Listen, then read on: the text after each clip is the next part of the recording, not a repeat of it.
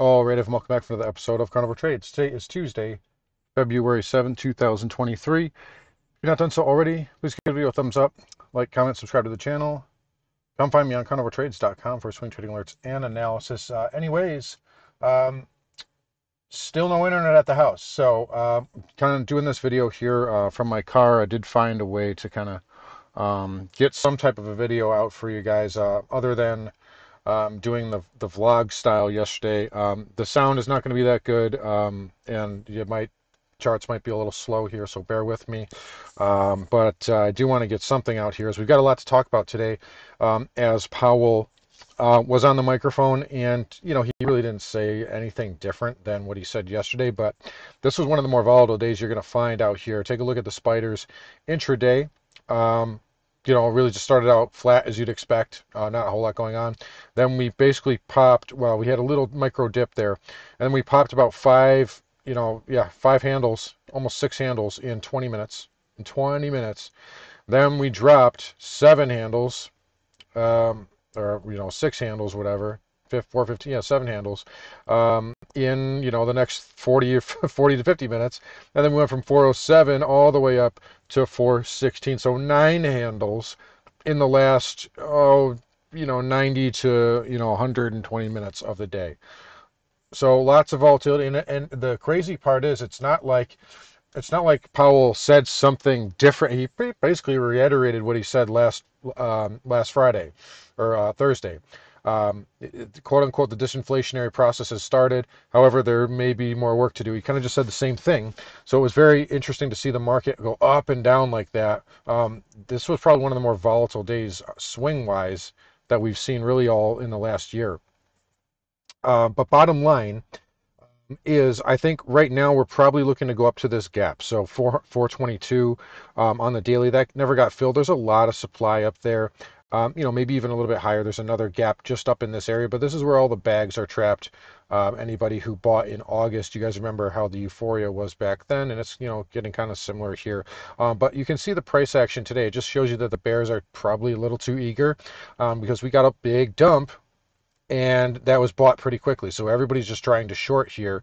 Um, and so that tells us that we're not quite there yet um, as far as uh, getting everybody on board to the long side, or at least stopping out all the bears. So, yeah, that's really where we're at here. Um, I will say there was a, you know, I would say it's a minor crack in the armor so far.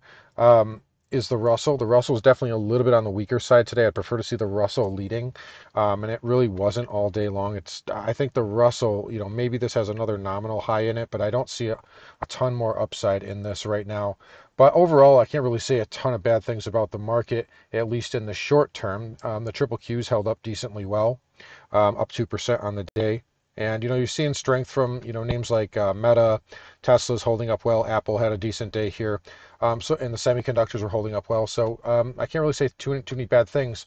However, the big picture, and this is a big one. So right now, I believe that the reason this market is uh, okay, so the bears right now, the, the bear thesis right now is uh, we're headed to recession, and the Fed's not going to be able to print us out of it. That's the bear. That's the bear thesis. That was that's been the bear thesis for a long time, and it's been a valid point.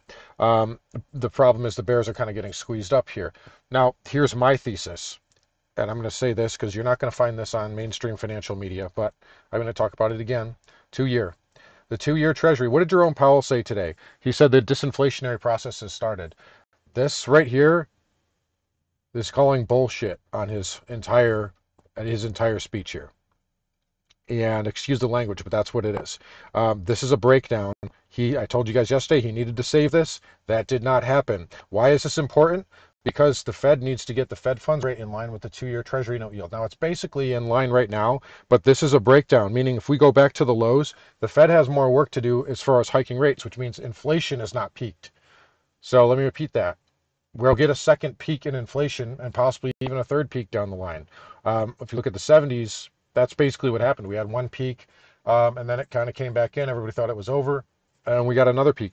We have CPI coming up next week. So maybe that's something here. Um, the two year, you know, maybe I could be wrong. I certainly can be wrong. anything can fail here, but the bond market is smarter than the stock market, and it's always going to be ahead of time. Speaking of the bond market, let's get over to the 30 year here. Um, via ZB, this is a failed pattern. So remember, guys, I told you I had a buy signal on the ZB. That's failed now. You, so we closed below that green bar low. So even the 30 year, eh, eh, you know, what what do you want to own during a recession? The 30 year, right? That that's everybody. That's finance 101. 30 years coming down. And we had a hot jobs number Friday, guys. The signs are pointing here that we're not going to recession now. Or if it is, it's going to be a stagflationary recession, which is basically the boogeyman. Um, and the market's not pricing this in right now. The market is completely oblivious. Um, the bond market isn't, but the stock market uh, is is oblivious. Or uh, yeah, stock market is oblivious. Excuse me. But you see the 10 year there, same thing as well, um, falling. So um, that is the concern right now. I don't think. Uh, you know, I don't think inflation has peaked here, and I think the bond market is telling us that. Um, however, short term, market's holding up okay. Um, you can't really say anything wrong. Um, and again, I think today's evidence that you know there's just too many people looking to short. Um, and that's really uh, that's really the long and short of it, essentially, no pun intended. You can see where we went down today. Uh, I told you you got to defend the 408 handle. We pierced it, got down to 407.57. It held, and then look where we went. Um, let's look on an intraday here so we can get a better look. Uh, right down here, right, right up to that rising wedge trend line right back down, pierced it, and now we just closed just back above it. Either way, spiders are holding up. We'll give them the benefit of the doubt. We'll give them the upside bias for now. Um, but next week, I would get kind of careful. Um, I do think this market does want to linger around, uh, possibly for another week or so. But don't be surprised if that CPI number comes in hot. That's what the bond market is is kind of suggesting here. So, um, in any case, for now, market is okay. Um, and again, we'll give it the upside bias until we get a sell signal. You get a high volume reversal, then all bets are off. Anyways, over to the SMH here. Semiconductors up 3% on the day, so they're still continuing to climb. Um, and yeah, we got above resistance here. So as long as the semis are holding up, nothing to say that uh, this market can't go higher, specifically tech.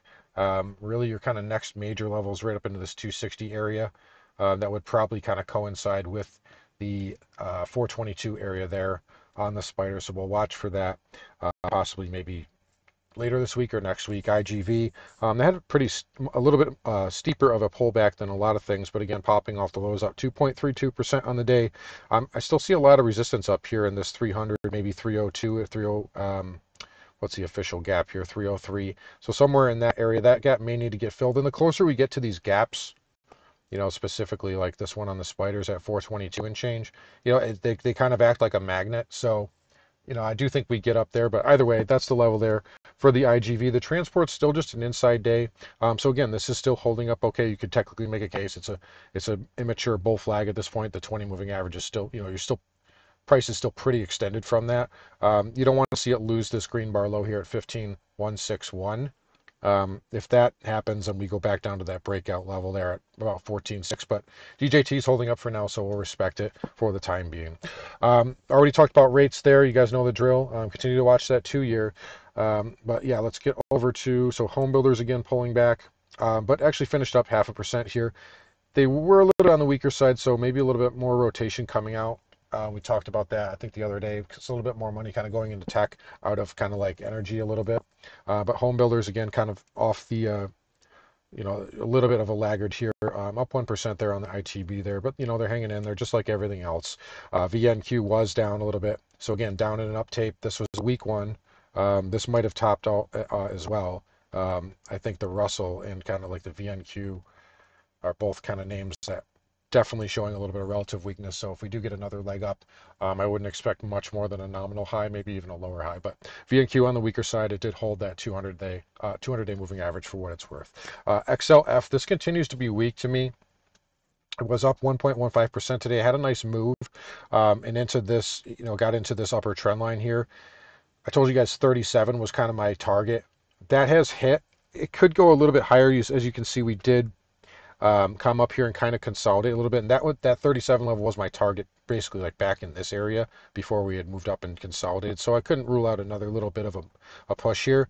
But even with the nice uh, outside candle today, XLF's still lagging, right? Like, I mean, you're barely, you just barely closed above this pivot high on the XLF. And if we just look at the spiders, um, there you go. So there's your pivot there. That was closed above basically last week. So again, still a little bit of laggard ship there from XLF. We'll definitely keep that on the radar moving forward. XPD, um, nothing really to, to say here, just up move, kind of just an inside pattern. So, you know, we'll give this one the upside bias for now as well. Over to energy here. So let's look at crude. Um, if I can get my crude chart up. Again, just try to bear with me here. Okay, so crude getting a nice bid um, off the lows. It's interesting. Again, you still have kind of a macro uh, sort of bear pattern here on crude futures. Um, sorry about that. There we go. Again, Wi-Fi, cafe Wi-Fi here. So sorry about that. Anyways, um, still a macro bear pattern with the uh, that weekly bear flag. But for right now, getting a bid off that lower trend line. We'll see what it does here. Still have a neutral to bear bias on it uh, until proven otherwise. XLE. Um, again, we talked about kind of the rotation coming out, but it got a nice bid today, and these are holding up well, up 3.25% on the day, so three and a quarter, nice gain there for the XLE. Um, XOP here, same thing, up 4%. Again, energy is still holding up well despite the recent little sell. And maybe crude can be, maybe energy would be a little bit of a fake out here. You know, if we do get that kind of hot CPI, um, or I would say like we should continue to watch energy here very closely, especially crude. Uh, if this starts to really uptick, uh, ahead of next week, it could be kind of confirming what the two year is saying. So something to watch here. Uh, but in any case, OIH um, still kind of just inside of this range here. Nothing really too new. It's just consolidating. Nat gas getting a nice bid. Um, that is nicely off the lows. The one thing I'm kind of looking for, though, uh, for Natty, and again, apologize for the delay here. This is uh, just doing the best I can here. But um, yeah, nice volume on Natty. What I'm going to look for here is the four hour.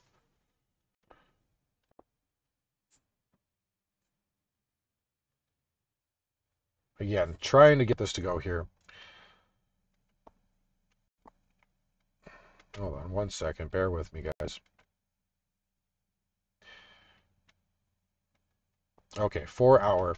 So we're looking at that four hour 50 MA. That's been resistance really since the peak back when it was at like seven bucks. Um, we just pierced above it a couple of times here um, last month, but we never really confirmed above it. Once you get a, a, an up move and kind of a back test or just a confirmation like several candles above that, um, that's where the bottom will be in Natty.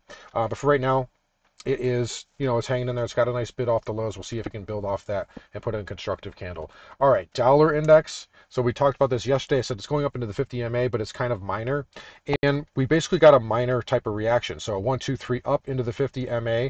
And then this is a bullish candle. So inside hammer, that's what you want to see um, after reversal, after a big up move. So if this can consolidate sideways, possibly, I don't know, for another week, maybe into the CPI next Thursday, you could bull flag and put it in a base there. I do like the dollar here. You guys know that. I think it has bottomed. And again, um, yields up is going to push the dollar up. So we'll watch that correlation here. That may be trying to tell us something here. Um, gold, basically an inside day. This might want a bear flag here, so we'll watch that as well. Um, silver, also on the weaker side, and you know, silver really starting to break down here. Um, again, I'll probably have some support at that you know, it'll have support at the 22 handle, and then you got that 100 moving average just below it. Um, I would not be a buyer here though, because this is a bull, you know, this was a technically a bullish inside bar that failed. So you're going to have a lot of velocity to the downside here. I would not be a buyer of silver until it's really starting to shake, uh, you know, shaking out a little bit more. Um, but again, we will be buying this again. We just got to get more of a pullback and let this uh, pattern kind of develop more. Platinum, um, just hanging in there right now. I wouldn't touch this either. That probably wants to go to 950. And then copper here. Um, copper, I told you guys um, last week and, and really the last couple of weeks. I said once we got this sell signal, um, it's going to go to four dollars, three ninety five. We went to four. We got a bounce. We'll see if it gets down into this area. You know, three eighty five, three ninety, um, somewhere in that area. But uh, nice little sell there on spot copper Bitcoin. Lastly, um, so Bitcoin is interesting. Did not doing a whole lot yesterday, but still holding this bullish structure. Um, and a nice outside candle today, up 1% again. Um, this might want to get up a little bit higher than 25K now because we've done a little bit of consolidating here.